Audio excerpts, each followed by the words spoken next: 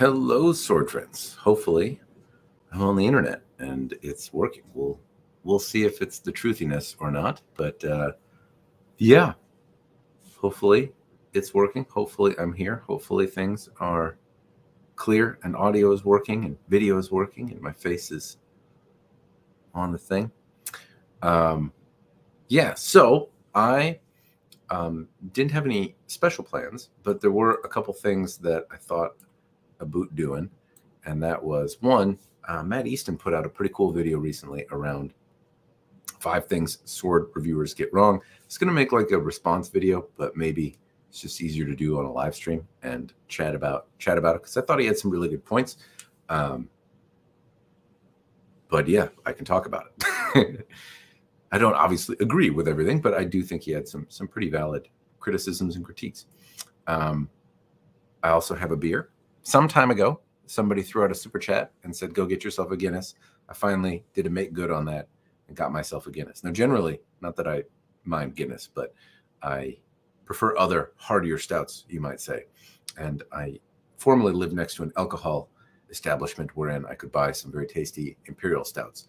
But the place I moved did not have such tasty beverages. And Guinness was there. It was tried and true and trusted. So I actually finally made good and got myself a Guinness. I wish I remember who bought it for me so I could thank them. But anyway, I made good. I got a Guinness. Cheers. Abdullah, hello. Alex, hello. I see you're joining in there. Anyway, um, so I can chat a bit about the Matt Easton thing. And I also saw this really cool thing on the old Humble Bundle. Um, if you are unfamiliar with Humble Bundle, they sell video games and other cool stuff. This is a Humbly Bundly thing right here. So here's my screen. This is a they have bundles up here, and you can go check out all sorts of stuff. Anyway, it's like a charity spot, but they have two really cool things going on if you are interested in photography or YouTube creation stuff. And I kind of kick myself because uh, Vegas Edit, I've been using Vegas Edit 16, hoping that a bundle like this would come out, and I haven't done it for a couple of years. And so I've been using version 16 for a long time to edit videos. And I was like, oh, I really hope they come out with one. But then, like a a sale came up for upgrading for $80 and I picked it up. So I went from 16 to 20, but now here's a bundle for 25 bucks where you could get version 18, which basically does all, you know, all the things I would need it to do. Uh, version 16 isn't so great for like some vertical video stuff. They didn't do as much of that. So some of the YouTube shorts that I try to edit, they're a little bit cumbersome to do. Uh, it doesn't do HDR as well and some other crap. But anyway, Vegas 18 would have totally been awesome. It's $25. And if you're not using Premiere, which can cost you uh, like a monthly fee, this is like the cost of one month. Incidentally, um, likewise, I use Lightroom to edit most of my photos. I've never used Luminar. I think that's how you pronounce it. Uh, but I've heard good things about it. And so if you are also interested in photo editing and playing around with stuff, some of these programs can really do some pretty cool stuff with your photos. Uh, you'd be impressed even with photos from your cell phone and stuff what what a difference just some of the dials are and a lot of these things like luminar which i believe is meant to be a competitor to lightroom which is what i use to to play around with a lot of the photos that you might see on instagram or see as uh as kind of filler in some of the videos that i have or not not filler. They're the overlay. That's the star. But if i really need to get in uh, a lot of them i process in lightroom and luminar is a not monthly subscription based version of that. And again 20 bucks, you get some pretty cool bunches of stuff. I don't know what all this is. Aurora HDR, though, is also really cool. Uh, if you play with HDR photos, I, I have this. They've put it in previous bundles. I don't use it very often because it makes very big files, but sometimes, especially if I'm doing like landscape photography and I want it to have a particular HDR look, uh, I like this. So again, I'm kind of tempted to buy it just because, but I can talk about that. I can even go through and like show it, I guess, in action if if that is a thing that's interesting. But I get asked a lot about creation and like what I use, and I'm I'm certainly far from the best creator out there, uh, but I've I've gradually improved, and so I've I can at least speak to the journey of like what it was like to film on a potato and use movie maker and then like move into editing software. Uh, and this is, I, from my view, a, a, really excellent deal on stuff. So um, I would encourage you to check out Humble Bundle if you're interested. If you already have photo editing software and you're not interested in it, that's fine. But it is what I use. It's been pretty good to me. Um, it's not without flaws. It's certainly not perfect. Like it sometimes errors out and does some goofy stuff, but generally speaking, it's pretty good. Uh, and yeah, and I can I can run down and, and edit. So anyway, point was, if you are an aspiring creator or you're already a creator and you're not locked into a Premiere, you don't have access to that video editing software, but you want to kind of do the next step above the the free or default video makers. Uh, this for 25 bucks does a lot of cool stuff in my mind and uh, can can kind of help you take your videos to to the next level. Um, there's also lots of tutorials and stuff like that about how to do things it's funny because like I'll, the software will break and I'll be like, how to make Vegas stop crashing? And then there's like a bunch of YouTube tutorials and like things I can do and and, they, and they've worked. Anyway, well, bam, that is also the thing I can talk about. Joe, I'm looking over my live stream stuff. Hello, glad you could join me. Uh, Phoenix, hello. Does anyone know a way to buy entry level katanas in Europe. Unfortunately, I don't. I think Cult of Athena sells stuff in Europe, but I, I imagine the shipping is going to change the the entry level price to a mid level price. And I think there are uh, a number of resellers that that do work exclusively in Europe or primarily anyway. Yari no Hanzo is one that comes to mind, but I'm I'm not sure exactly what uh, what vendors are the predominant ones inside of Europe. So I don't have a better answer.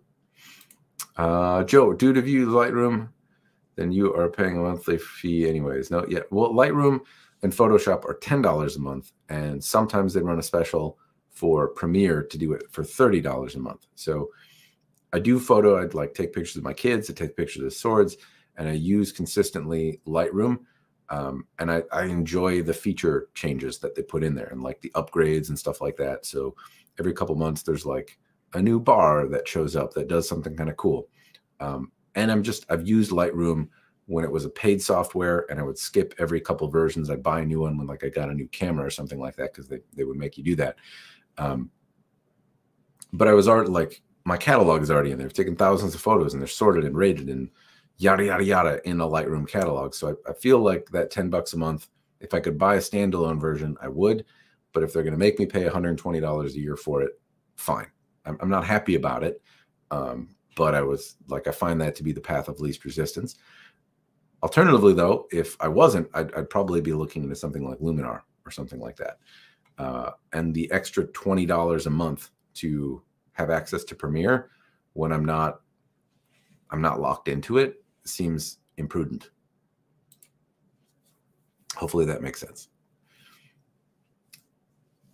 DaVinci free version is usually the most pro of the cheap stuff. I haven't, you know, I've tried um, Movie Maker, I've tried HitFilm, I've tried uh, like the the Mac version. I edited on a MacBook for a minute. There was a there was a free version that was on on that, and then I think I got Vegas 13 or 14 in a humble bundle. Like they're usually a couple years old, so I want to say probably around 2016. I got the 2014 version of Vegas Pro from a humble bundle and that's what I've I've used pretty consistently since then. And I've upgraded as as they've released it in humble bundle. And this is the first time I I I purchased an upgrade. So I've gotten version 14, 15, and 16, and now they're they've released 18 on on this here website right there. You can see it. Anyway, um, so yes, there's there's a few a few good ones though. It seems like people are recommending DaVinci. I I'd say that's good. I haven't used it though. So I can't say it's good. Sorry, that was a brain fart right there. I can't say that it's good because I've never used it, but I think I've heard of it before. Uh, of Athena does ship to Europe, 100 to 150 bucks, which is yes, I can imagine when you're when you're looking to buy a $60 sword uh, or something, you know, presumably around $100, doubling the cost is is likely no good. Anyway, I don't know. I'm, I'm afraid I have no great answers for you, but I would keep an eye potentially, just maybe a, a road that you haven't thought of. uh, Facebook, myArmoury, uh, Sword Buyer's Guide. There are periodically folks in Europe that are selling swords on the secondhand market, and it isn't necessarily a guaranteed way to save, you know, and, and buy an entry level sword. But there there may be opportunity there for you to find one secondhand in Europe and and get a good deal on it that way. Do you think you've developed an arm issue from years of doing Iaido training, just old age? yeah, uh, fair enough, Joe. I I know on my last stream I started to get a little lightheaded. Um, uh, I, I had my vision kind of went blotchy and I couldn't talk straight. So I stopped. I laid down. I'm feeling better. Hasn't happened since then, which is good. Um, maybe I just lack air, so I'm leaving the door open in my in my office now. seems seems to have helped. Um, that was the last stream, but my arm specifically, it is not better at all. Um, I did. It, it hurts when I poke myself here. so I, I don't know exactly what I did. I, I have a sneaking suspicion that I whacked my elbow or something while I was moving, and it's entirely possible because it feels like maybe I bruised. Like there's nothing visible on it, but if I poke myself in the bone, it hurts a lot. And every now and again, I'll like be holding my little one and actually brush against the door jamb, which is I bet how it happened in the first place because I'm a bit of an oaf, and uh, and I'll, it'll it'll I'll yelp quite a bit. So, um, in in some cases it feels better, but like after a day of work of just like sitting because I do mousy, keyboardy, clicky stuff, doesn't feel great. Doesn't feel great, and stretches and things like that don't seem to help. Um, it doesn't seem to be getting necessarily better, but I did put one of those. Uh, I don't know in class some time ago. Somebody had a a band and it, it reminded me of putting noise canceling on noise canceling headphones on but for pain and on my arm. And it it reduced the it reduced it a little bit. Anyway uh not not fantastic but i'm i'm confident it will hopefully get better eventually. If i did some sort of day i don't know it says like you know six weeks to six months somewhere in there i i should probably go to the doctor but i this is not medical advice for anyone else. If you have ailments like myself, please be smarter than me and go see a doctor. But I, will tell you, I get really sick of going to the doctor and having them tell me, "Well, if it hurts in two weeks, come back, give me your lunch money, give me give me another couple hundred dollars or some amount of money that is seems unacceptable for this level of advice, and then uh, you know walk it off, take some take some aspirin, see what happens." That's historically been apart from like when I'm very injured or hurt my back or something like that. That that tends to be the advice I get from a doctor every time I go. So I just I just don't want to give them two hundred dollars and tell them have them tell me to walk it off. so I figure if I'm like, yeah, it's been hurting for a year, maybe maybe they'll do something. But like, why didn't you come in sooner? I'll be like, well, because historically my experiences have been have been bad. Anyway, that was not the question you asked, but hopefully that answered it.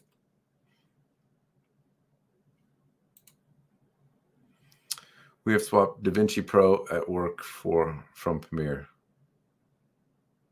Nice. Uh, is DaVinci Pro a is that the free one or is DaVinci Pro a one that has more cost? I guess I'm not familiar, but if you dig it and it's working for you.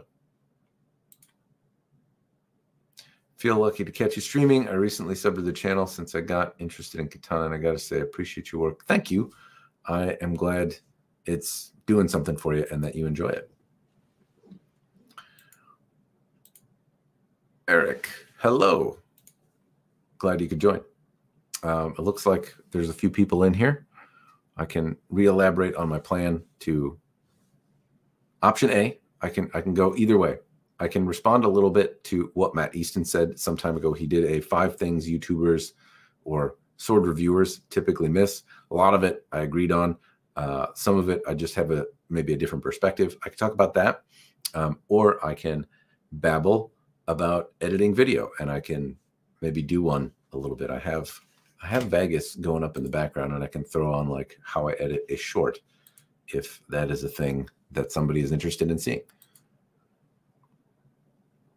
Or I can drink this beer, and you can ask me sword questions. I'm okay either way. I got about an hour uh, until my little kid wakes up, or maybe before then, who knows?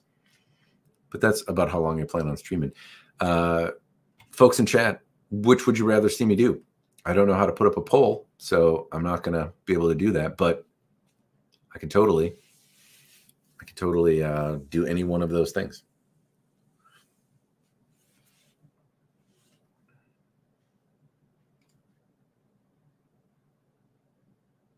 Arston, hopefully I'm saying your Ariston.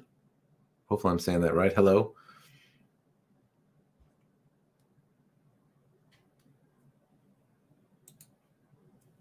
Power Hour. I'm not sure what that reference is, Eric. I'm not. What What are you talking about? The Power Hour? Yeah, I suppose it, I said it's an hour. I well, anyway, long silence. Well, well, uh, I wait for people to chat is is probably not terribly interesting. Joe, you're the first to respond. Editing, so I can uh, I can do that a bit. Um, so what I've got in the background here is Vegas. This is the the new version. Uh, Vegas 18 might look a little bit like the old version here. I'll open it briefly just so you can see that the new one is basically the same thing, but they've modernized the visuals a little bit and make it made it look a little less meh.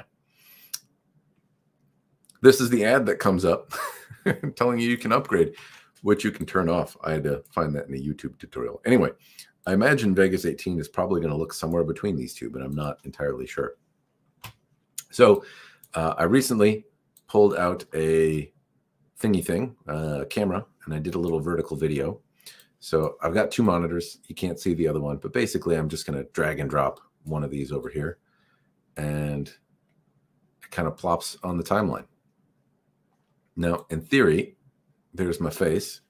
Here's an audio track. Here's a video track. There's all sorts of stuff that I can do. But first, I think what I should do is probably sort out my video because this is not typically how you would watch a YouTube video, right? I gotta, I gotta change my preferences, which ideally I would have done ahead of time.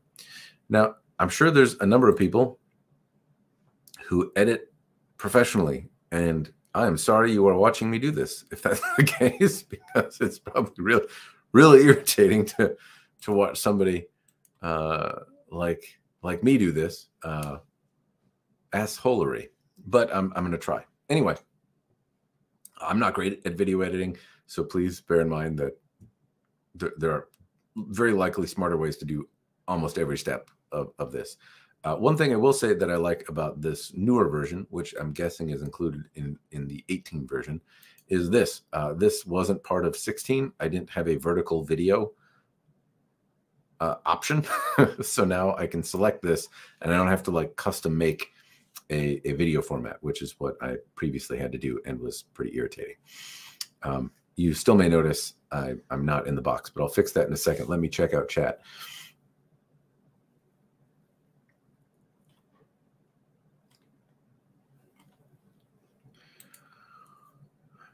Always. Yeah. Are, are you tipping one back yourself? Joining the fun.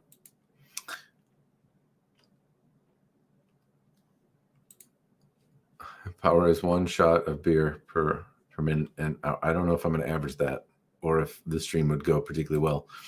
Uh, just received a Cloud Hammer uh, differentially hardened Sanmai. It's not the same as the through hardened you just got, but I agree on every point.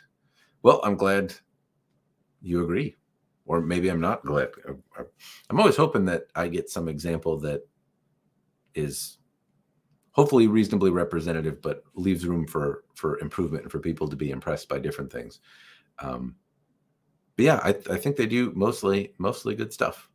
I think I think the review was was generally pretty positive. There's opportunity to to do stuff better, but uh, generally, I think they do pretty solid stuff.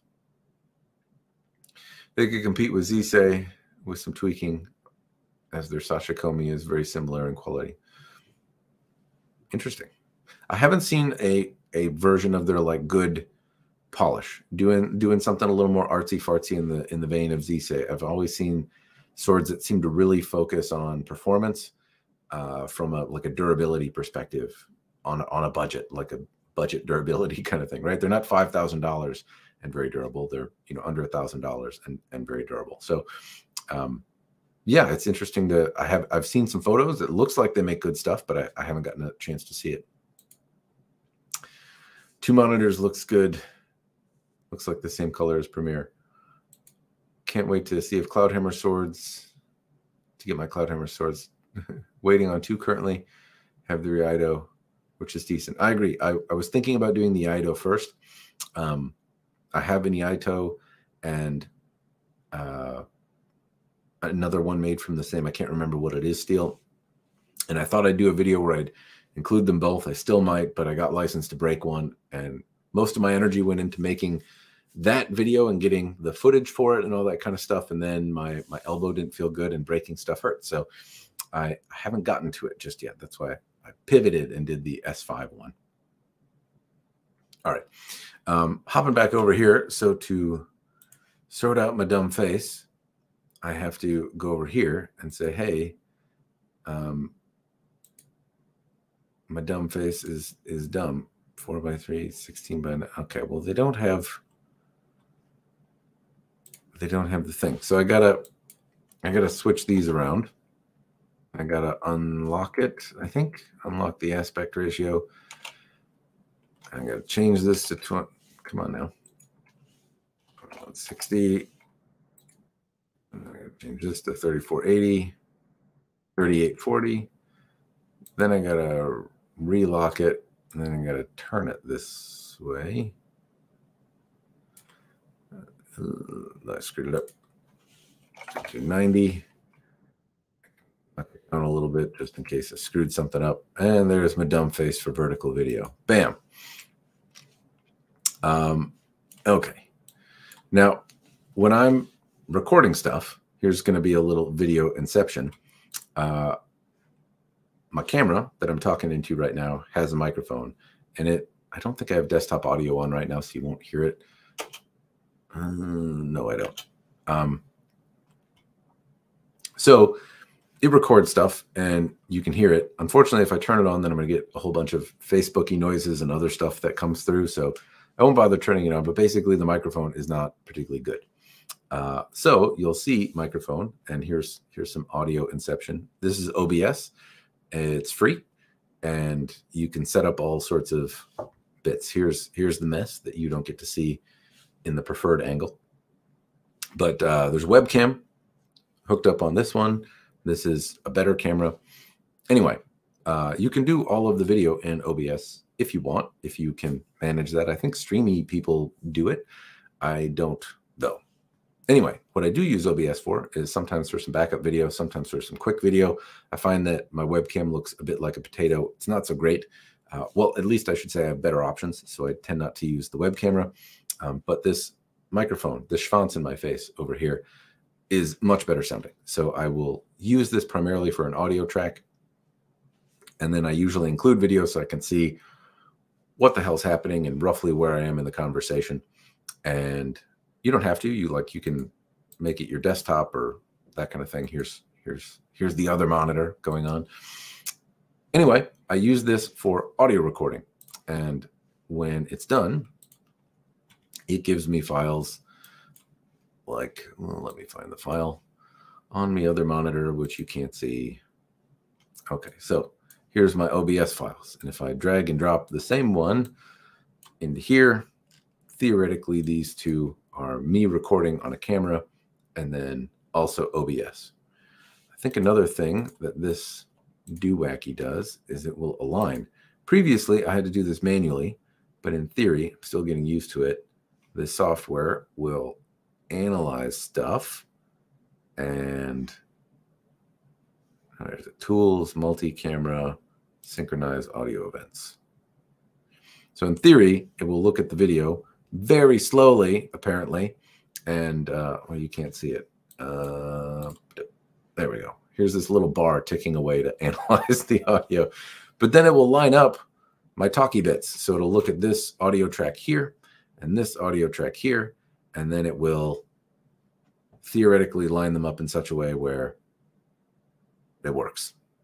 Um, but it's thinking, so I'm going to switch over to just my dumb face here. And check out chat again and see where where I left off.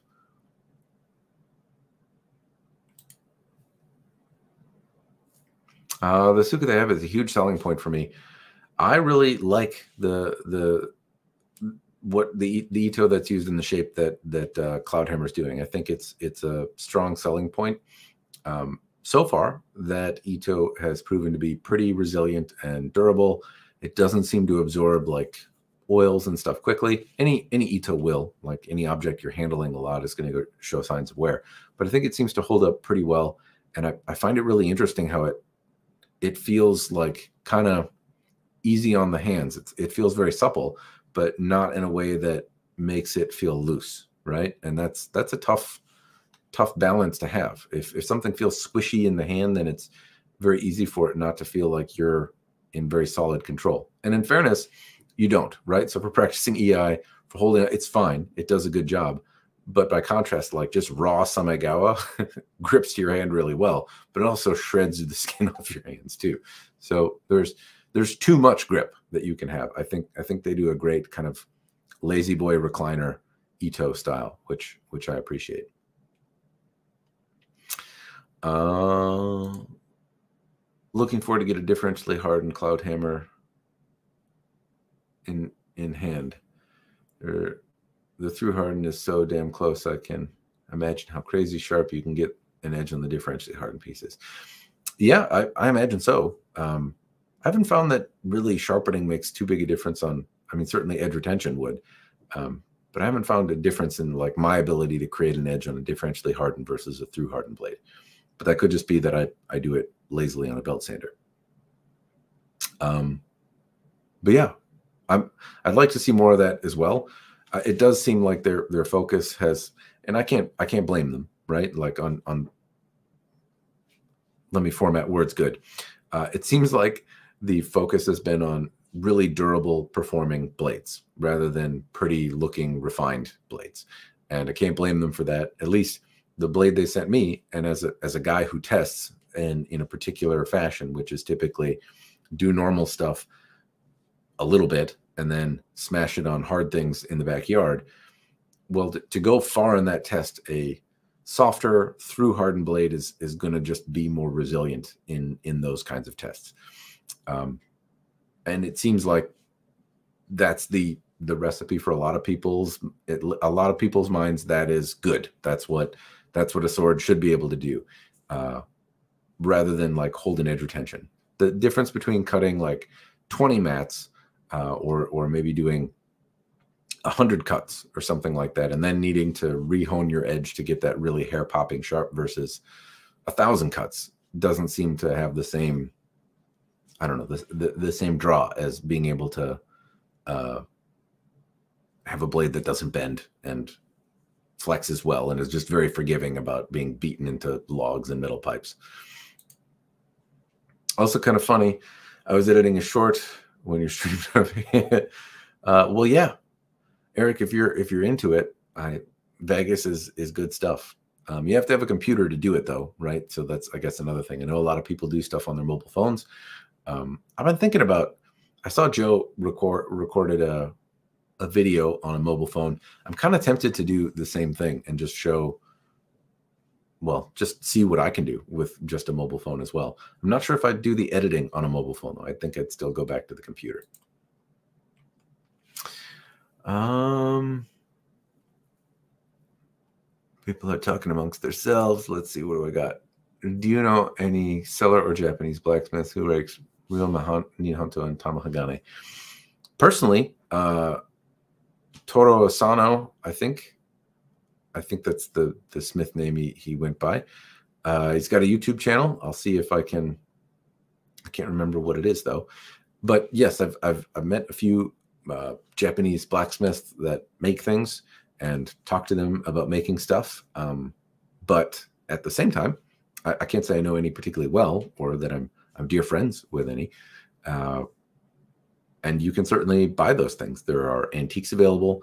There are um, not antiques and, and more modern made, you know, Nihonto made by Japanese smiths, presumably out of Tamahagane. And then there are, are blades that you can commission today uh, I believe Tizando just put up like a a site that connects people with with Smiths a little bit easier than has has been made available in the past. So I think there are avenues available if if that's what you're looking for, and if you are, uh, best of luck. I I don't generally buy them, not because I don't like them though. Um, it's just not. It's it's easier to get taken advantage of. I guess it's it's harder to know what you're getting uh, sometimes in in the Japanese sword world. Whether if it's genuine Nihonto stuff, it's it seems very highly faked, or at least there are there are more fakes out there, and it's it's harder to know exactly what you're getting. Um, but I still buy some. I still enjoy it, and uh, I think Tozando seems to be the easiest way of going about it. Otherwise, Paul Martin. Um, was uh, he runs the Japanese Sword and again has a YouTube channel and stuff, but is is also known for connecting folks to to people that want to make swords or can make swords. But expect you know um, I think probably eight ish thousand dollars is probably the the starting point to commission a sword and and have it made to to your liking.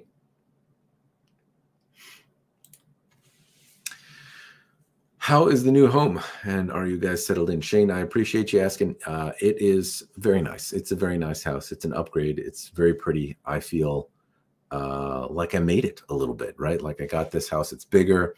It's fancier than than anything I, uh, me or my wife have been in. We both came from humbler places, and so living in in a in a big old house is, uh, uh I don't know. It's it's it's very nice. It's very pleasant. I feel very very lucky. I also feel a little out of my element though. Like there's there's there's a lot to do. Uh, just projects left over, but I'm I'm gradually taking them on. Today, I've already fixed a fart fan in a bathroom. I replaced a motor there, and so now my my stink can be vacated from the home. That's good, and I have some other like a bathroom sconce to replace or something. But slowly but surely, I would I have some. Uh, some ideas for like my little sword closet to dress it up so the stuff isn't just leaning against the wall. But unfortunately, it keeps kind of getting pushed back and pushed back, and it'll it'll and now it's really cold out, so not, not sure. But yes, the messes are generally contained, and at least have have their place. They're they're consolidated, so the house looks reasonably clean, feels reasonably in order. Uh, most of the stuff is working. The only other thing that we found is like we have this very strange oven, which is a microwave oven combination that goes in a wall, and it's 27 inches wide, and apparently they're hard to find. so I, I went to to Best Buy to go order one, and there just weren't any. There's none available until like next year. So uh, that's about it. Other than that, like things things are going. It's feeling pretty good. I appreciate you asking. Uh, let's see. I use my phone for all my editing. My phone has an excellent camera, and the free Video Guru editing program is all I need. Yeah, it's uh, no argument. You know, lots of people create with their phone. Eric, you're doing your thing.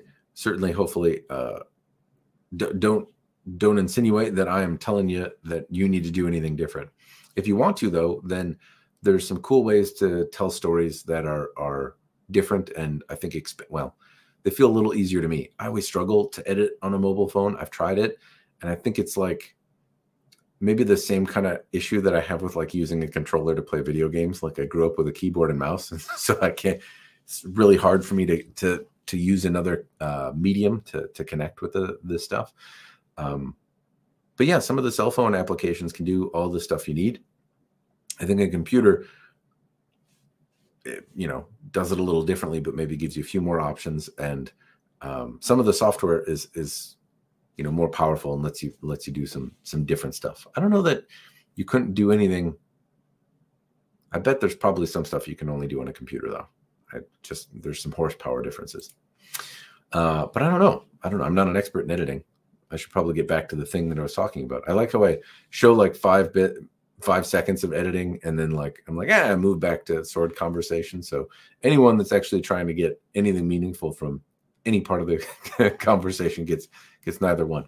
Uh, i shot cloudhammer a video on my cell i shot the cloudhammer video on my cell phone had a pro mic attached to pro lighting uh, but i edited in premiere and did uh, b-roll with a cell phone camera. Not the same but it can work. Yeah, I I saw your video, Joe, and I thought it was pretty cool. And I was thinking about doing something the same. I've used a lot of different equipment.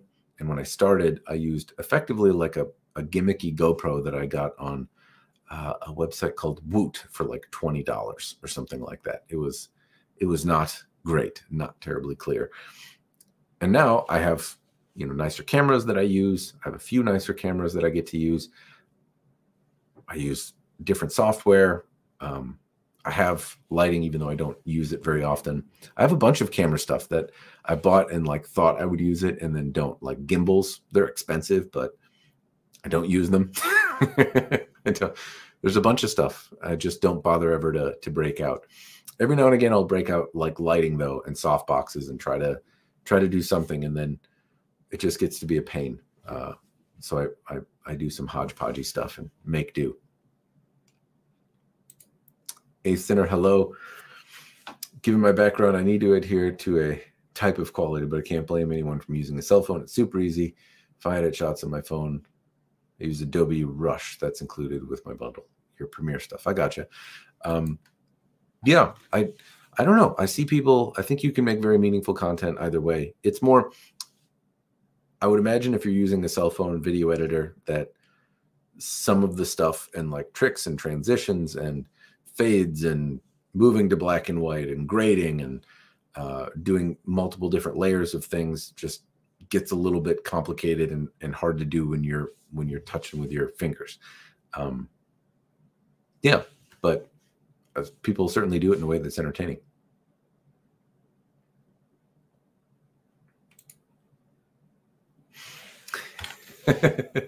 no worries, Eric. Uh, I don't know. Not that I expect you to be sensitive. Sometimes I, I, I just want to be cognizant that by showing video editing stuff uh, and encouraging folks to buy some program, that um, if you've got a better way to do it or you've got a way that you prefer, yeah, keep, keep at it. I'm not trying. Anyway, sometimes I don't know. Sometimes people say like, "You have to do it, or you're an asshole. You suck if you don't buy programs and spend more money." And you don't have to you don't have to do that.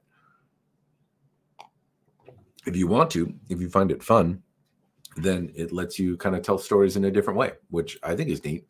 Um, but at the same time, like kind of with with a soft thing. like if it's fun for you, go for it. But if you don't, then no worries. Anyway, it looks like my software finished. Uh, it finished a minute ago, and it did not do anything. So awesome. Uh, um, it's cool they paid $80 and that feature does not function.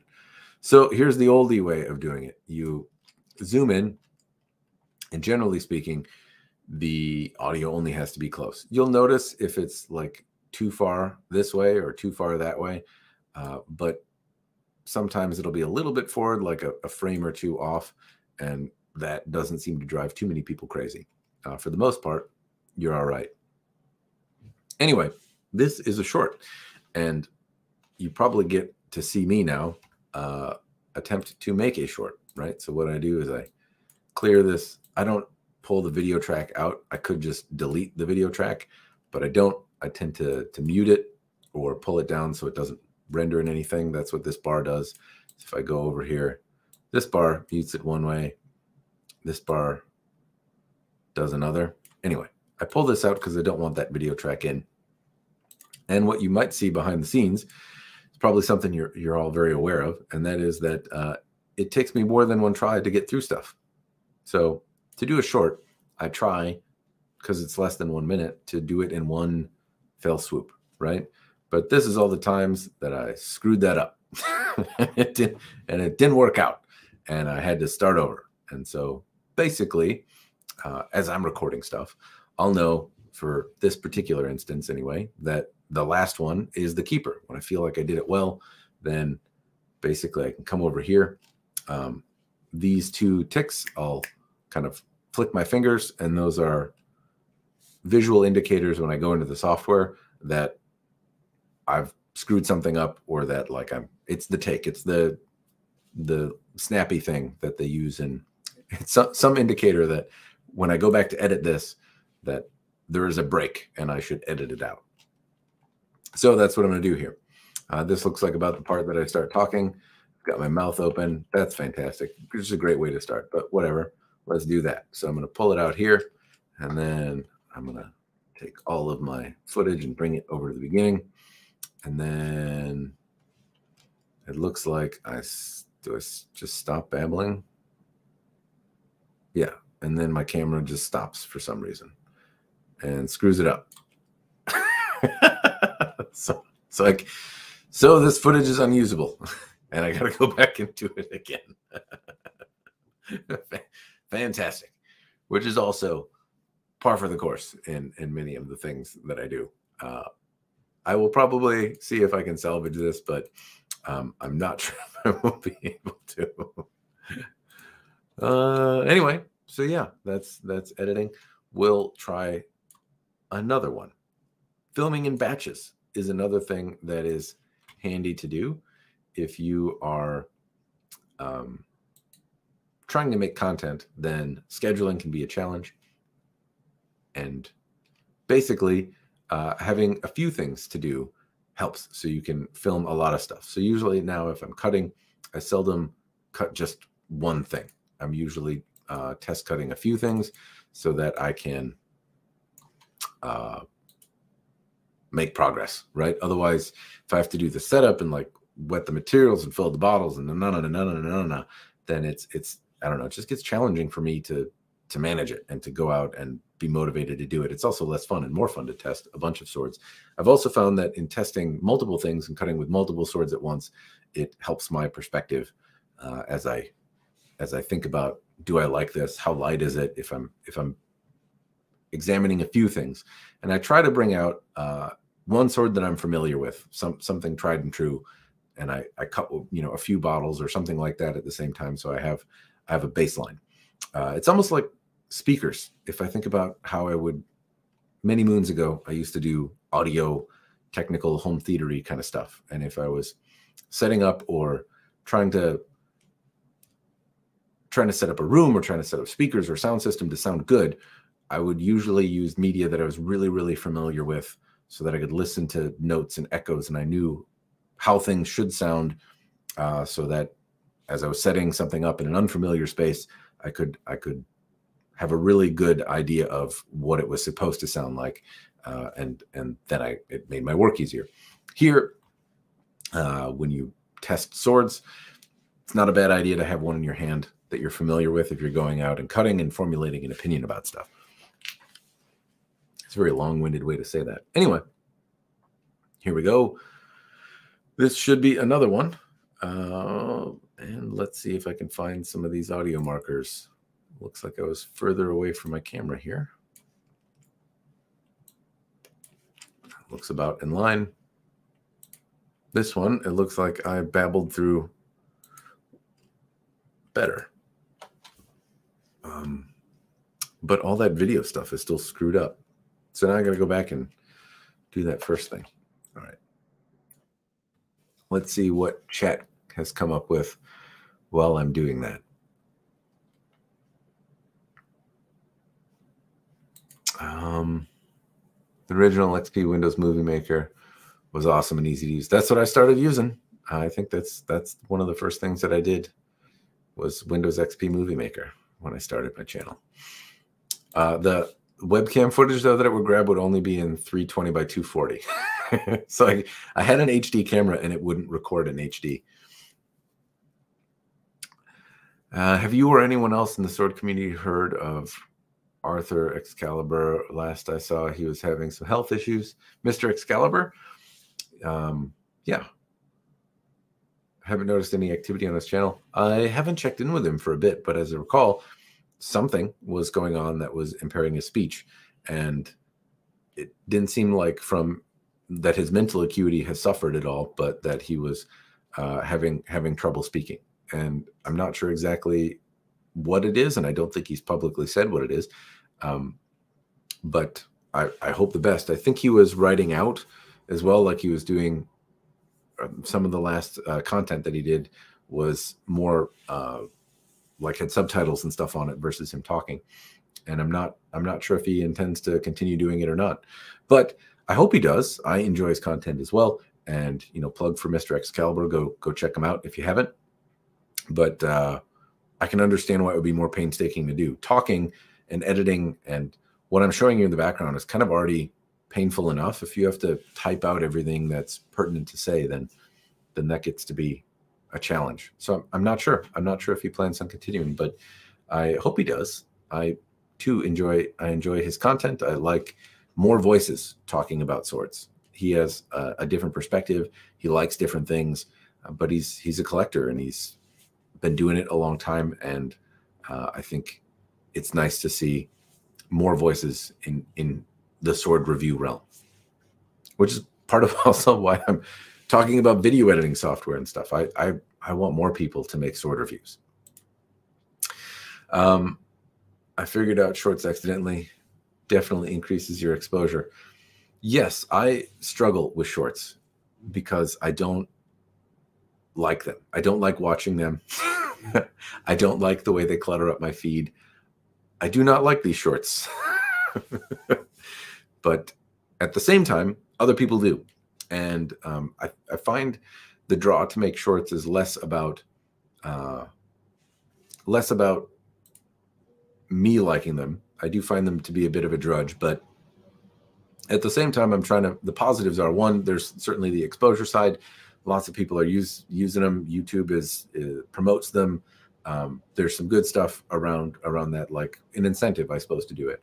Uh, but also, a, a lot of people watch them, right? Like there's there's a lot of people that use them. So finding a way to be succinct and make something meaningful with a minute is kind of a new challenge and and just a, a different way of of thinking. So at the moment, I don't know if I'll continue doing it, but the short that I'm making here is basically like a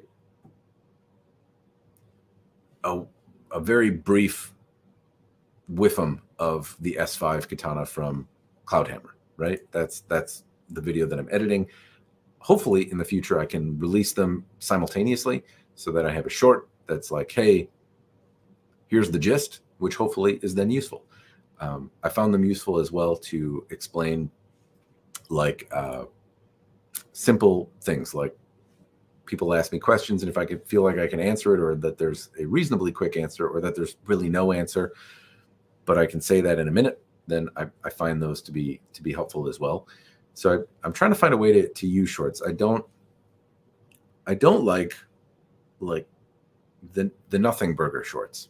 Uh, so that that's where I've I've kind of had to steer clear. And no no discredit to anyone that makes different content. I don't find con- like shorts that say nothing or that are are trying to do like visual stuff because I, I see it on a cell phone. I, I, feel like I can't watch it. It's like the old man, like I can't see anything. God damn it. Like that, that's kind of what happens when I try to watch like a, a visually appealing short. And if it's just like showing a thing, then I, I want to know more about the thing, and then I don't have any other content to watch. So I, I don't know. I don't engage with it so well. I don't like making it, but there are ways I think I can do something useful with a short, and hopefully put out something that I that I enjoy making, that I find to be a challenge and interesting, and that, uh, it, and that is also interesting to to you. that's that's hopefully, hopefully what I can do. I don't know if I I don't know if I can though. I'm figuring it out. It's it's a new new ball of wax. That is not what you asked. but that's what I rambled. All right, what was I doing here? So this thing I gotta unlock. This is the many joys of video editing is doing all of this goofy crap that is not intuitive to get it to look the way that you want. I gotta switch this thing and then move that over there and then all right. And then there's that and then I for some reason it changed my video properties back. Why would you do that? Okay. But it fixed it just have to know those 12 easy steps all right where the hell was I switch back to old chat I wonder is there a way to include chat. I'm no, whatever. All right. Um,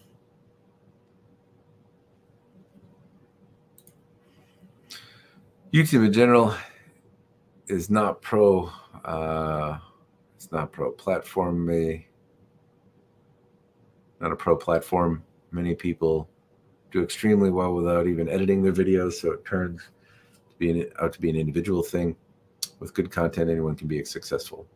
Yeah, that, success is is like a, a varied thing, right? And so I know some some folks are looking to be successful monetarily on YouTube, or uh, it's a notoriety thing, or it's a subscriber thing, or it's a view count thing, or it's so, something else. I've um, I like the conversation side of YouTube. Like there's there's cool stuff that happens and content that goes out and things that I get to learn about. It's it's kind of I don't know, like it it's it's humbling and cool to me that some folks have reached out and said, "Hey, one of the reasons that I started making YouTube content was you." And now I watch their content and enjoy it. And I'm like, "This is this is so cool that like I have more shit to watch because I made some myself." Um yeah, and and so I but I agree that there's if you there's a lot of ways to make good content and and be successful on YouTube. And if you have something interesting to say, uh, there's a, great way to connect with the, the a community of people that that want to watch it. Especially when it comes to like swords and stuff, it's really it seems like not all that niche of a subject. I mean, given that there's hundreds of thousands of people interested across across the world, um, but it's it's kind of underserved. There's not a huge amount of people that talk about it. Anyway, um, definitely hope Arthur's okay. He's a cool dude and a good reviewer. Agreed. Vitosa the Ham Slayer. I love that name. Um, missed the community. Been a while since I posted and interacted. Just thought I'd log on and check out what I've been missing. Hopefully, there's. I'll be more active soon. Got work to do. I'll catch up. well, I hope you stick around. Make some videos. All right. I like shorts for single cuts, a small amount of info, and the people and people are busy these days. I'm definitely yeah, I I think there's definitely something well, I think it's uh, just maybe a personality. I don't know if it's a generational thing or a personality thing. I don't like TikTok or Instagram stories. I don't really even like Instagram, frankly. Like I don't browse through very often or I find it a struggle. Like Instagram just keeps trying to show me boobies and I want to look at swords. And, so, not that I mind necessarily, but I, I don't find it to be a, a, terribly meaningful way to like interact and see what's going on. Uh, TikTok as well. Like I get that there's some funny things, but most of the time, long form content on YouTube is what I have, and I'll put it on in the background. But my lifestyle allows me to do that, and if and I could totally understand how somebody uh, is different and engages differently. I I, I kind of prefer like message boards and long form YouTube content. It's it's it's tough for me personally to engage with other content. I don't find I get as much from it or that I'm as drawn to it. Um, but I am with YouTube and I am with long-winded posts on message boards for some reason. But I'm old. That's that's also a thing. I don't know if old is necessarily it. That's just how my brain engages, and that's why it's a challenge to see where I, I can fit in and, and have fun with shorts because my brain just inherently is like, but a minute, what can you do with that? There's nothing, there's nothing you can, nothing I can do, nothing that I want to watch in a minute. Um, so yeah, it's, it's a challenge. And so initially I was like, nah, but I'm trying to, I'm trying to figure out how I can do it. John from RVA Katana the the guy that can help you with all your Cloudhammer Steelwork needs. He's in the house.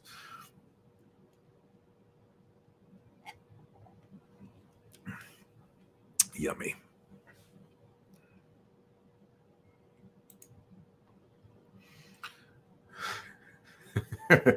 Talking about, uh, I, I suppose, John, this is an interesting question here. Since you sell swords, you have a katana store do you find that you have a lot in common with a drug addict? Like, given that you are very interested in swords, that it's it's very hard not to abuse your own stock. Is that does like a, a, a successful sword seller have to like, you know, not be all that interested in swords? Too personal. Don't worry. You don't have to answer. General Zero. I found this channel a couple weeks ago, and I've been addicted to the content. There's so much good information. That's debatable, but I, I appreciate it. Uh, I just don't know how he affords so many swords.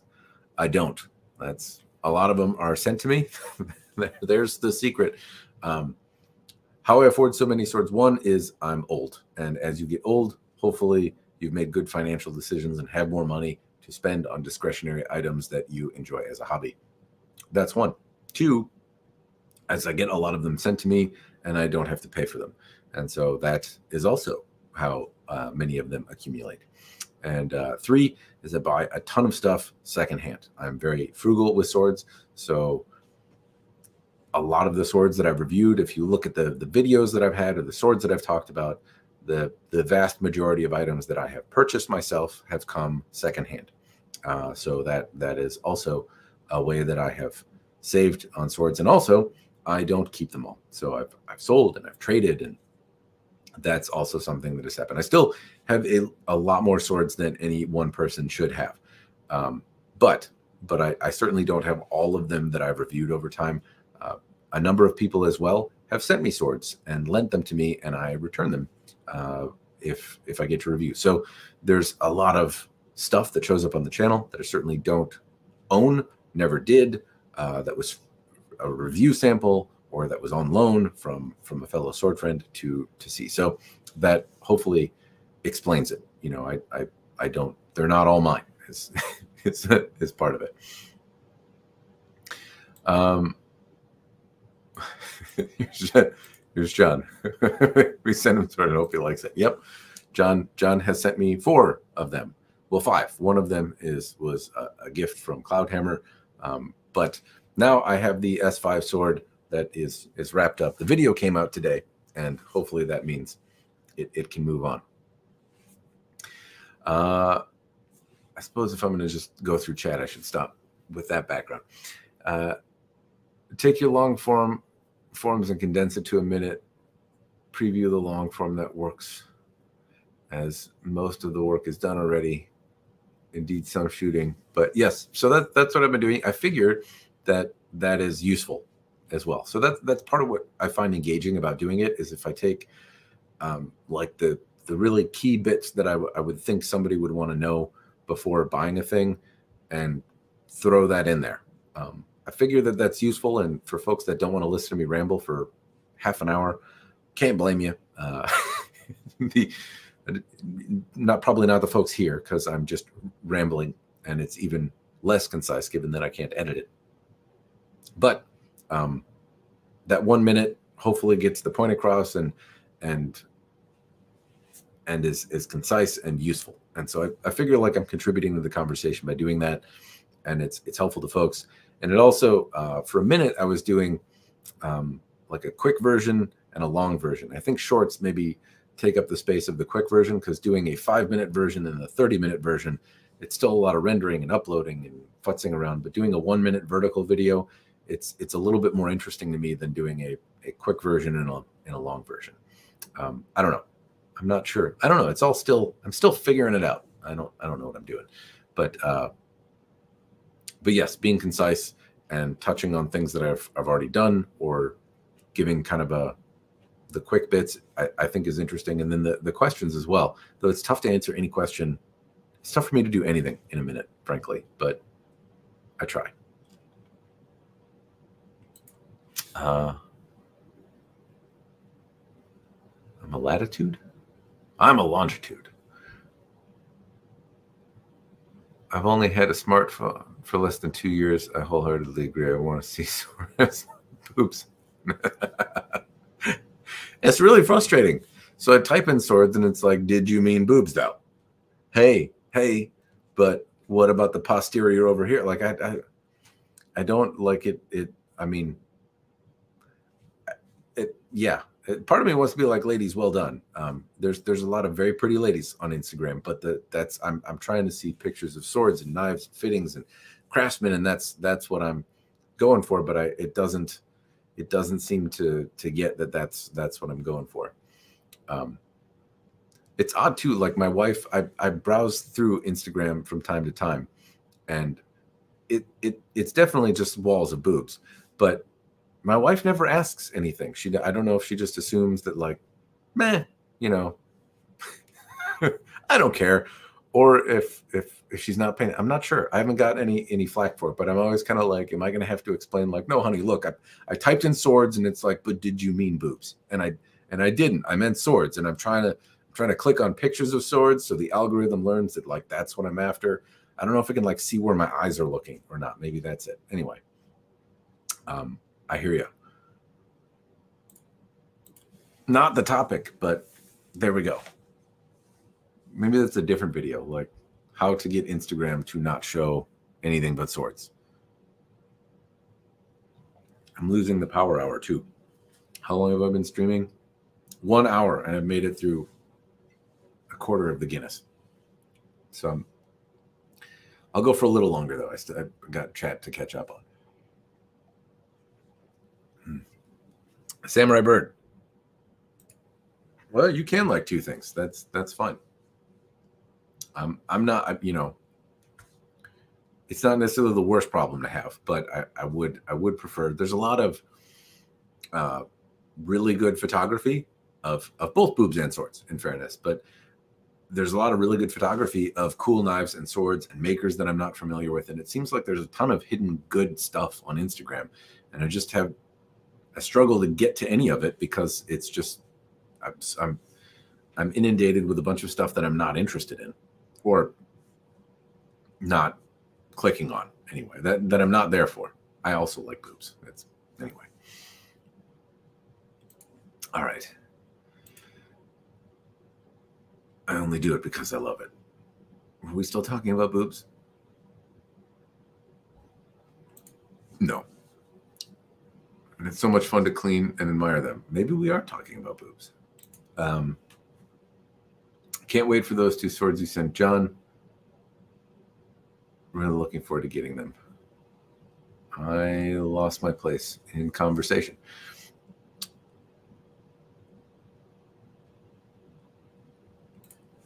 Japanese swords are harder to film and grab the activities depending on the polish and metallurgy. It is. I have found um, it takes a lot. It takes a lot. So lighting and like reflecting off black backgrounds and macro lenses and stuff like that can sometimes for close-up shots help out. That's that's the best I've been able to do. Um, but it it is hard. It's hard to to get it uh, I usually have luck with still photography and then like moving some of the the stuff around, uh, which because I'm I'm talking about that right. Like so hypothetically, I uh, let me go to this thingy thing, and I'm talking about the S5 Katana. Do I have any photos of it? I thought I took photos. Maybe I didn't. Well, I guess I don't have any. Uh, but I do have some photos of the Zisei katana that I had a while ago. So with detailed images, what I tend to do is I have better luck with a macro lens getting it um, getting images. So I'll do something like this No, 16 by I do I gotta unlock it do could have changed the aspect ratio manually. I,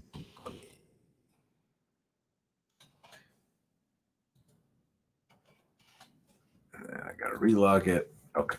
So I can start like this and like really zoom in on a photo and then this is not the the best photo of choice but then i can pull it back. And then if you watch it it like zooms out slowly and kind of looks like video uh, so that that's the way that i found is the best to show some of the metallurgical properties is by uh, doing some some images like that with a camera and then zooming in and enhancing them as much as i can and then putting them on on video that way.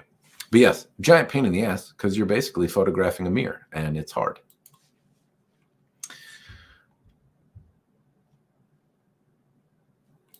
What are we talking about? That's my problem. As John can attest, I, if I get a sword in hand that I like, I find it impossible to part with. Out of the 50 plus katanas I have at this point, you're at 50, Eric. You have, I did not know you were, you were competing for who owns most katanas. Um, I've sold them one, and that was only as a favor to a friend. yes, it's uh, it's tricky. It's a it's a tricky thing. I I really enjoy though the the prospect of the next one, right? The and I I certainly if I had kept all of them, there's no way that I would have experienced some of the higher end ones that I have and some of the variety and um yeah yeah it's it's don't get me wrong it's tough to get rid of them uh, it's tough to lose your ass on them too but moving along gives me a chance to to try a bunch of different stuff and I I think I don't know if I'd change that. There, there are some that I miss that I, I regret selling. Um, one was a one was a uh, uh, one that Josh Marlin at Cottontail Customs had done, and it was a Kris Cutlery KC twenty nine, and it was a weird shaped sword, and there wasn't anything particularly special about it, but just felt absolutely magical in the hand, and it was had a lot of weirdness about it. I don't know that it would be the best example of a KC29, and I, I think it was very early, uh, very early wrap from from Josh, and he's certainly gotten better at like the shaping and stuff like that. Uh, but there was just something really cool and special about it, and I sold it, and I wish I had kept it. I, I really, really like that sword. Um, there were some others though that felt absolutely amazing. One of them was a, a Rick Barrett 1075 sword, and buying it was was kind of fun. I enjoyed. I got it from a friend of mine. Um, but the process of having the fittings made, just made me want to pull my hair out. The the the frustration and getting the polish finished on it, it, just everything took a long time, and I was so frustrated every time I looked at it that I just I sold it. And the sword was absolutely wonderful. I love the way it looked, but like I also just saw the the frustration. So I, I didn't I didn't regret some of those, even though they were wonderful swords. But yeah, it's it's not always easy to part with them. There are totally times where I sell a sword and then I'm like, yeah, but do I? Mm, is this the right move? And so far, so far it has been. There's I've, I've gotten a chance to see some other cool stuff. Uh, I didn't see here RVA. Okay, not to me. Da, da, da.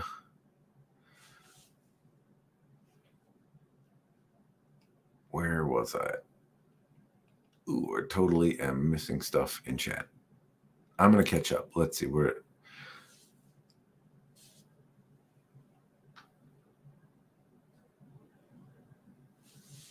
I tried to explain that to my girl. Sadly, she doesn't understand. No matter how many sword sword picks I like, I always have boobs in person. I've never liked it on Insta. That's fair. Now we're back to boobs. That's good. Great review on the Cloudhammer. It's too bad you weren't able to break it since it's one of it's well.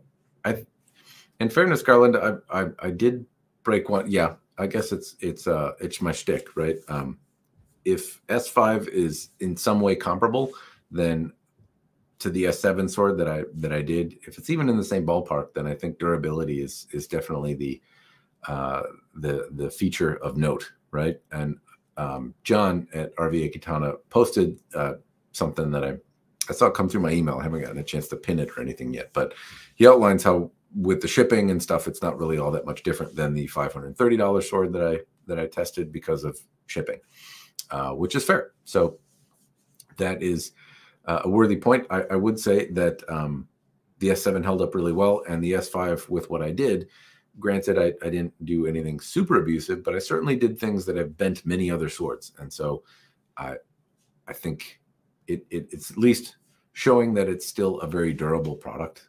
But uh, yeah, if if I was going to break it though, I you wouldn't have seen the video today because I'm just I'm not up to it. He did send me something else to break though, which is one of their lower end swords. So if if I've broken an S7 sword and that's pretty equivalent to some of the the stuff in the $700 range that's being sold, if you don't have to factor in shipping, um, then some of the the $300 swords, I, I have one of those to break, and I just I was going to start with it, I just didn't feel feel quite up to it. I wish I told him.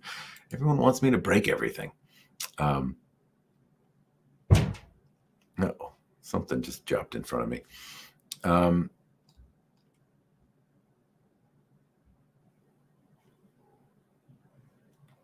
all right, where am I?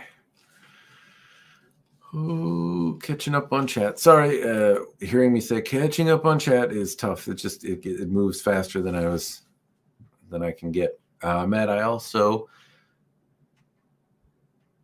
I also seem to anticipate the prospect of getting a new sword, but I don't seem to have trouble selling them.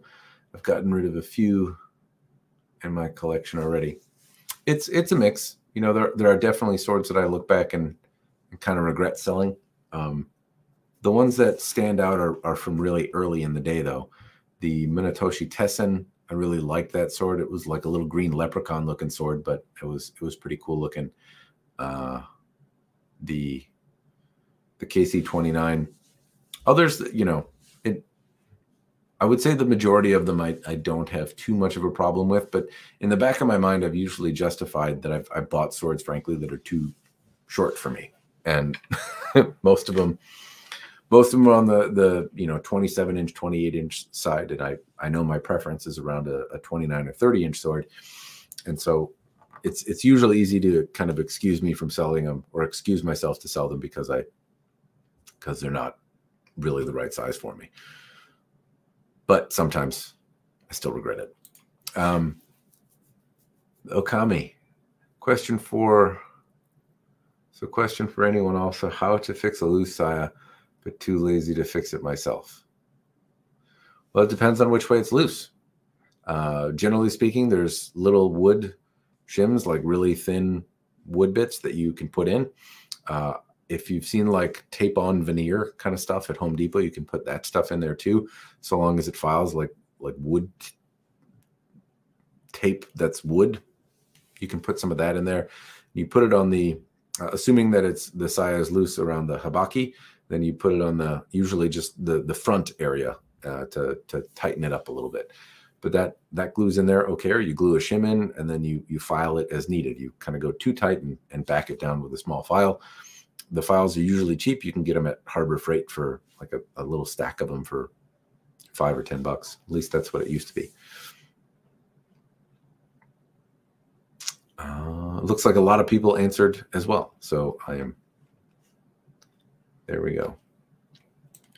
All right. I think I got uh, reasonably caught up in the chat. So anyway, I'm going to flip back over to video editing.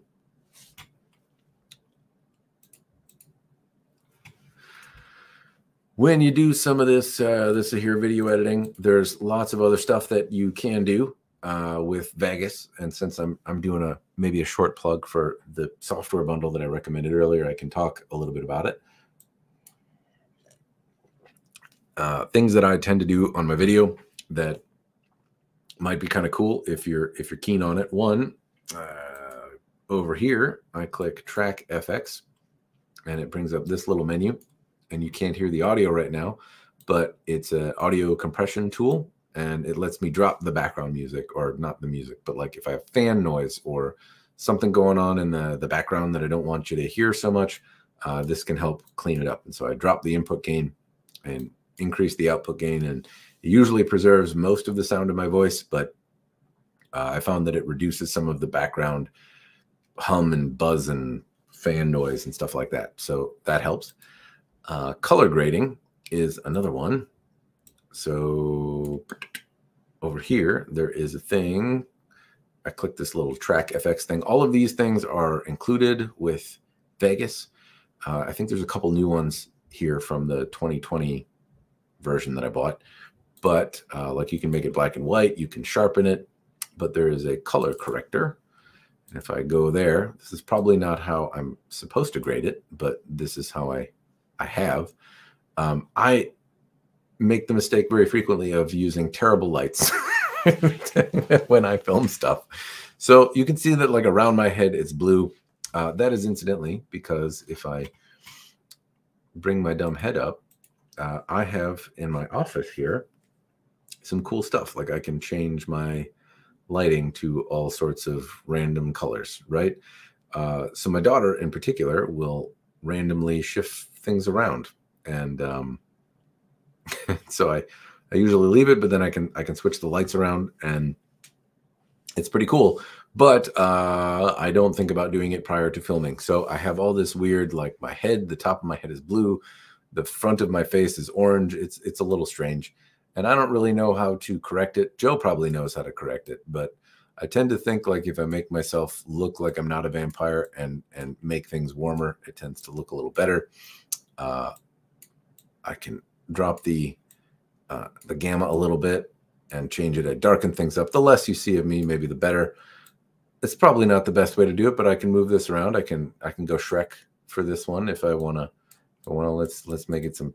There we go. This is I think what everyone is looking for in in terms of color grading. but you can change it in a way that doesn't look bad. Usually, uh, unfortunately, I have two competing, like the front of my face is orange and the back of my head is blue. So that is that's a challenging one to work with because they're they're kind of on the opposite ends of color. so so if I just if I pick Smurf and I and I go a little bit bluer, then at least I'll I'll look more blue in general as opposed to also orange. Um, and it might even my face out a little bit, or maybe not. I don't know if I'm making a difference, but that is also something you can do with uh, with Vegas. You can there's there's other like default settings and stuff, but I I find moving the wheel around helps more. Um, you can also let's see media generators and texts you can put in like a bunch of different little texty things, which, oh, I'm not on the thing where you can see my dumb face. Here I am. Gosh darn it. If only chat was telling me, hey, Matt, when you're talking, we can't see what you're doing, dummy. Uh, dear. Yes. Well, color grading, color corrector, bam. All right, here's the things. See, I can I can move this to blue. This was the wheel that I was talking about. You can go to color corrector. There's a bunch of different things in there. Um, I can also like put on film grain if I want, and then it'll look old timey filmy if I want to. I don't know. There's lots of different ways to tell stories and do cool things with this editing software. I don't know all the tricks of them, but color grading is one. Um, sometimes shifting in black and white if I can't get it to look right. And then with these media generators, I can also add a video track and then move this thing around. There we go. And so I can make this say whatever I want, but then like the video pops up and that's how you put in text. Anyway, uh, there's lots of edity stuff like that, but I think I'm going to stop showing that because I don't know how many people are terribly interested. Editing is boring. It's the, not the most fun part, but it's a very important part if you are doing YouTubey stuff and a, a, a major part of the experience of YouTube from my perspective. um, what else was I going to talk about? Oh, yeah. Um, Matt Easton some time ago put out a thing that was like five things sword reviewers uh, miss. And he made some pretty good points about like modern expectations and uh, well, a lot of things that were that were generally pretty accurate. But um, one thing it, it kind of got me thinking is about what people actually buy swords for, and I and in his uh, in his video, it seemed like the predominant kind of definition was good of good was how well the the sword emulated the kind of an object from history. And I, I hope I'm not misrepresenting what he's saying, but um, like, hey, you know, ripples and swords and things like that. How how did they work historically? And I, I think to a certain degree that's fair. There's there's a large portion of people that buy swords that are looking for historical accuracy and want something that is uh, a, a, mirror of history, something that could be tossed back in time and wouldn't be wouldn't look out of place, right? That's that's certainly a thing that that some people are after. But other people just want a cool sword and they want modern. They want like a I think the the Cloudhammer S5 is like a great example, right? It's uh it doesn't necessarily have a you know, if you, if you brought it to a museum and held it up against m- many of the other Japanese style swords or the Japanese swords from antiquity that are there, not antiquity, but antique Japanese swords from the, you know, the 1400s and on, it wouldn't look like you probably wouldn't find another sword that looks quite like the the ones from Cloudhammer, right? It's in the ballpark, but there'd be little nuanced differences. And you certainly wouldn't find anything that's going to be uh, be as durable, right? But having swords made out of modern kind of super steels is is a cool, fun thing. Um, having swords that you can cut water bottles and fun stuff in your backyard with is a fun thing. Swords that will do those things and allow you to to kind of train uh, in doing some traditional arts. It's not that they like exempt you from from doing them. Uh, it, the experience might be a little different, but I don't know. There's a lot of people that don't seem to want an object that could be thrown back in history and and blend in. They want something that if it were thrown back in history would be the reason wars were started to get it. They want the you know the god tier weapon, but like you know a modern one. And so uh, it's it's an interesting notion that well was it done in history is is like a almost an excuse that's something that that's used to excuse a lot of potential manufacturing flaws or what we would see today as flaws now, if, if, a manufacturer, in my mind, is specifically going to recreate a historical object, and and you're going for as close for a, a one for one replica of a historical object, then yes, I, I, absolutely agree that that's that's the purpose behind why it's built. That's the customer it's intended to serve.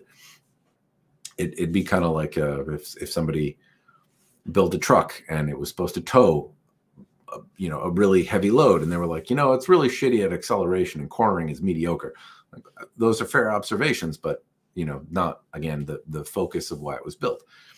Um, if you're looking at swords that are specifically made to do a certain task or specifically made to emulate an object from history, absolutely. But I think a lot of swords aren't like they're they're they're made as an influence or they're influenced by those historical things, but they're not really made to do that. They're made to attract people that just as much want something for the zombie apocalypse. I think there's just as many people out there that want a cool sword in the event of zombies as there are people that are buying. Potentially, I think there's more people that want one for the zombie apocalypse, which I get. You know, it's a it's a pretend thing that won't happen, but um, people want one for that reason just as much as they want like a historical one for one. So. I, I, I do think as sword reviewers, like if there's one thing that we miss a lot, it's maybe rejecting our own expectations, which is, I guess, par for the course. People watch sword reviews because they're interested in the the take I have, or it's it's useful in some way. But I certainly project what I'm interested in and my take and opinion on on what I find valuable. At the same time, I do recognize that like nobody really knows what the sword market is.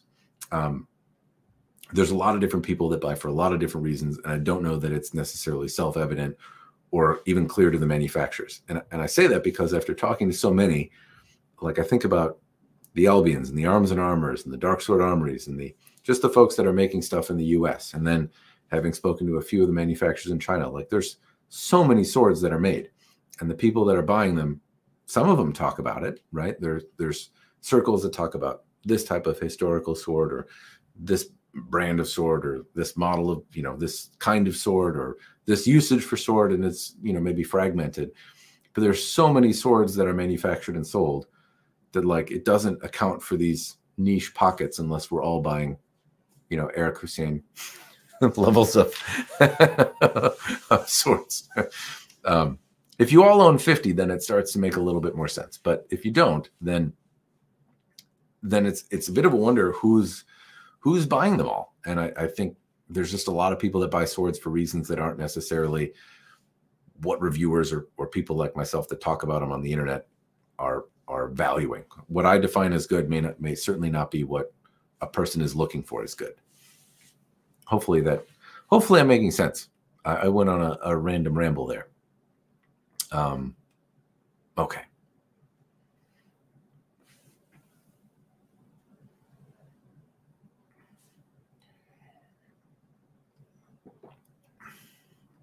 Well, anyway, um, so far in this uh, this stream, I have not lost my vision, and I've been able to continue speaking in full sentences, and have made it through about half a beer. So, that's good. I'm it's a better stream than last time. I've also done a piss poor job of showcasing a video editing software, but I would say there's there's more interesting tutorials than than what I can give. But if you've thought about it, hopefully hopefully that's interesting. And uh, and I babbled a bit about Matt Easton's thoughts. I will return now. Um, it's been an hour and 25 minutes. I'm probably going to wrap up the stream here in a minute, but I will I will continue for a, a brief moment and answer a few more sword questions because I'm not done with my beer. But I'm gonna I'm gonna start trying to wrap it up here. So if you have sword questions or a topic that you would like me to blabber on about, hit it. Hit, hit, hit me up. Let me know, chat. Mm. Beer is good.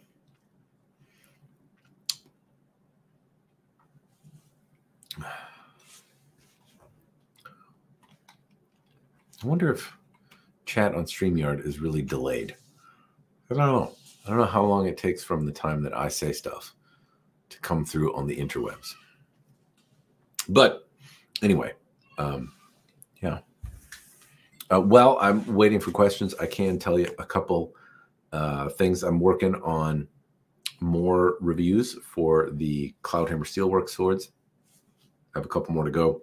There's another one that I'm not supposed to break and send out. I'll probably review that one next. Uh, the Iaito and the less expensive, I can't remember what it was, steel, the Musashi one that I have, I, I'm supposed to break. And so that will probably wait till my arm feels a little bit better.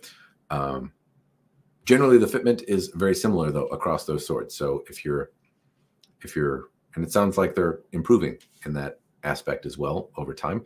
So if you're looking for a sword from Cloudhammer Steelworks, uh, RVA Katana is the spot you can go buy them, and the fitment seems pretty consistent about like how tight the ito is and the the general ledges and things that I, I gripe about seems to be pretty consistent. If you spend three hundred dollars or seven hundred dollars, there's there's maybe some differences in the quality of materials used or the the types of materials, um, but that they tend to be assembled at, at about the same level. Um, and durability seems, seems to seems to be pretty consistent as well. Uh, I have a European sword from the Art of Fire and Iron that I I got a while ago, and I'm I'm supposed to push to failure. I've used it. It's very fun to move around. I really enjoy it, and I haven't talked enough about it. But that is another one that is pretty cool.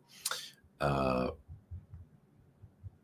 I got some Ichimonji knives as well. I did mention them in the holiday guidey thing that I put out, but that is uh, some kitchen knives that I that I get to talk about too.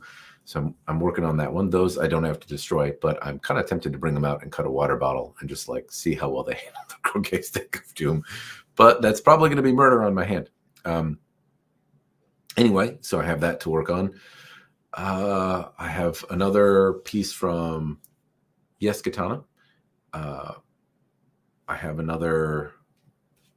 I have another piece I have a sword, a dragon sword review that's going to come out in the not too distant future, and then another sword from them that I'm pushing to failure. And what else do I have? Uh, I got two messers from Dark Sword Armory, uh, the small messer and the Nacken Knockenbacher or something like that. And so that is one that I am going to to review. They are arm killers though; they are hefty swords, and they they hurt a little bit to move. So, so at, at, least for me at the moment. Um, so I, I'm taking my time, but they are they are fun and cool looking. I reached out to Yale at uh, Dark Sword Armory and I said I've kind of been on a messer kick lately. They have a couple of them, and he uh, he he sent me two that did not make the the QC cut. So, but they didn't make the QC cut because they were too heavy. There were some other issues, so I get to bang them around a little bit.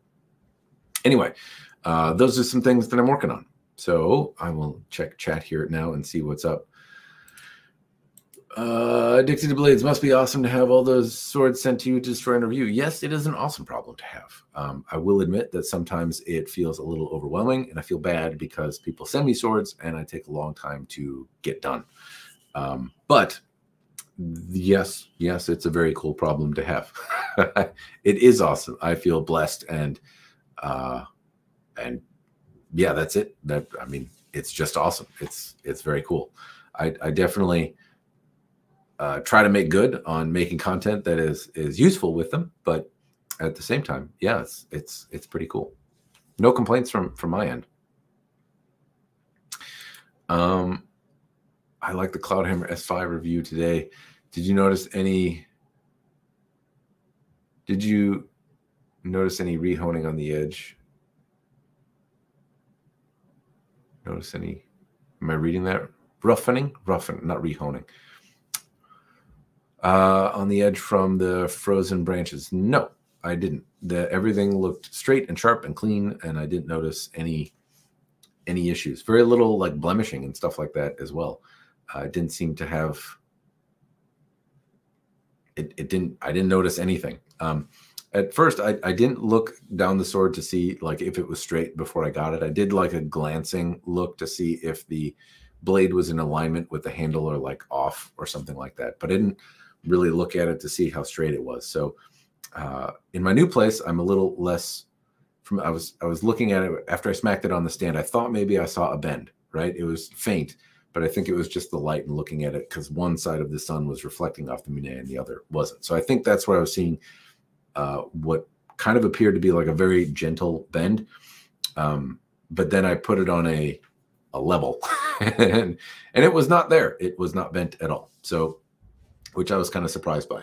But no, I didn't see any issues with the edge. I didn't see any bending. Uh, I didn't see any rolling, chipping, um, uh, none, none of that after cutting cutting the branches. If someone wanted to get into European swords and can't afford an Albion, what would you recommend while made for real use that looks good?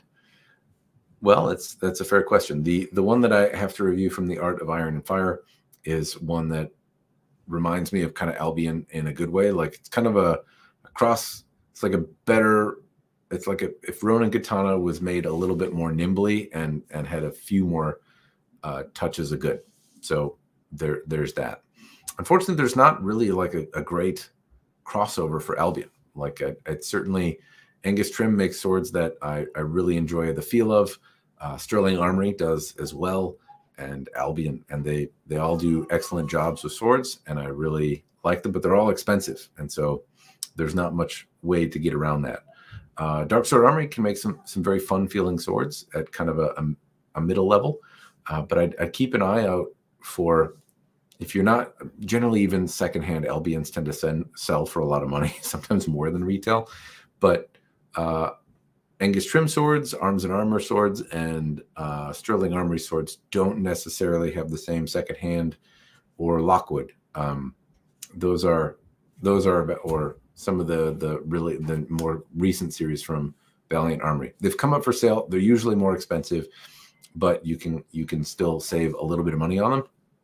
And I'd say that that is uh, is worth doing. They they they certainly feel really really compelling and nice. I don't know that there's one that feels the same or that like is the same on a budget or just has like minor minor downsides. In contrast to like the Squire line from Albion, which I think you can get for about the same price as like some of the Dark Sword Armory swords. Um, and they have thicker edges and some other things, but I, I still think that you you might appreciate those more. I really want to get myself a budgety Ito, but I'm afraid it might pass through. It might not pass through customs. I don't know which end of customs you're concerned about. Uh, if you are inside the U.S., receiving things in doesn't generally tend to be a problem. If you're outside the U.S., then yes, then then customs may do some stuff. What steel is the dragon sword you're breaking? I believe it's 9260. Uh, I have one in 1095 and one in uh, 5160. All right, come here. Be live on the internet. I got a baby over here. Okay. Okay. Well, there's my son. Daddy duty is calling, so I'm gonna I'm gonna try and make it through these questions quick, and uh, but I, I'm gonna stop after the questions that I see so far, which is the Danimal. Danimal, you got the last question. Um, yes, I believe the one I'm breaking is 9260. I also have the 1095 differentially hardened one. I, I didn't push that to failure yet. Uh, any online sword you'd recommend right now for people who buy any online stores you'd recommend right now for people to buy accessories individually. I bought a katana recently, but the tsuka Ito was loose. Nice to have a quality backup wrap. Unfortunately, not generally. It, it's it's a gamble to buy a uh, a handle and think it'll fit on the sword directly. It may it may not. It may not fit on the sword. All right, here's my. Okay, so this this stream is probably going to take a turn for the worse. Okay, that the people have. No, no, no, no. Shh, shh, shh. Calm. We're calm. Please don't scream. No, that's not working. Well, I'm sorry to everyone with their volume up. Uh, I have no control over this child. Papa. Yep. Excel. Excel. Um. Anyway, uh, no guarantee that it'll fit. The only way that you can get it is to send it off to somebody to have it rewrapped.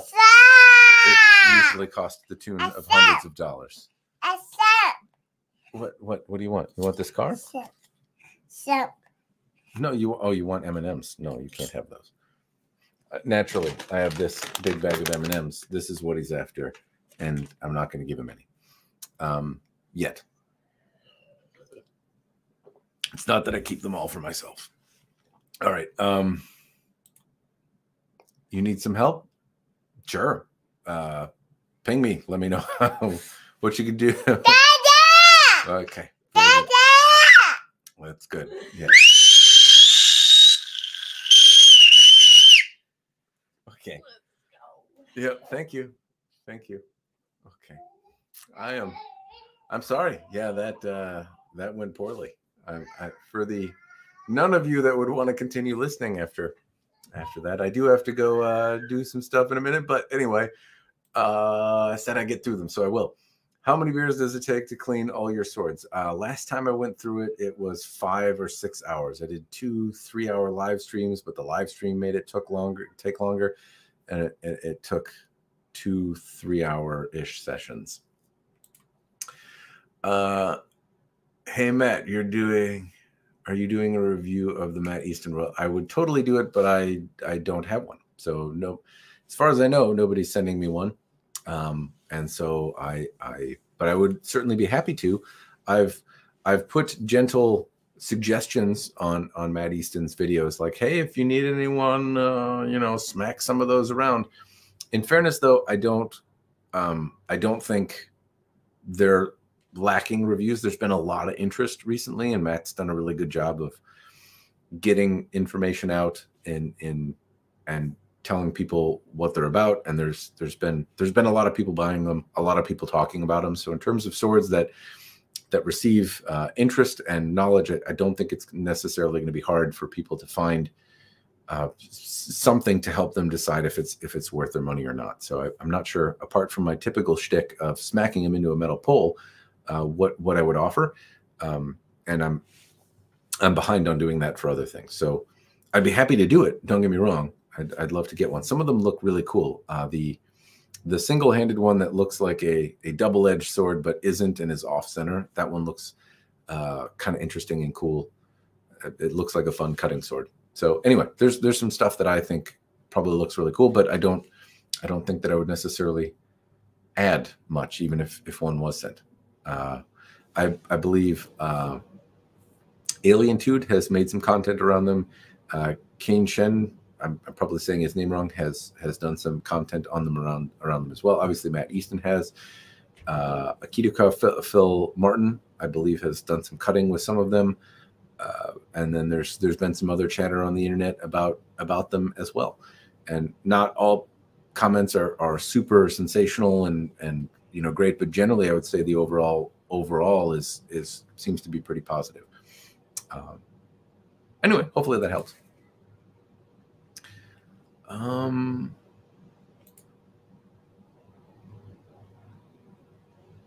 parts until proper fittings found. I don't know what that was about, but Danimal, how are you all doing today? This was the last question I said I would cover, and it uh, I, I'm doing I'm doing better. I'm sorry about the screaming, but it's been fun to chat about swords, um, and I hope I hope you all enjoyed it. And I'm sorry, I'm sorry for those of you that were here for the screaming kid. Uh, yeah, he does that. He does that a lot. And fortunately, my my daughter was holding him back after nap, but now I have to go do some daddy duty. So I'm gonna I'm gonna hit that up. Thank you, uh, everyone who stuck around and listened to me blab about swords. It's been a hoot, and I will try to try to do it again in the not too distant future. Cheers, everyone.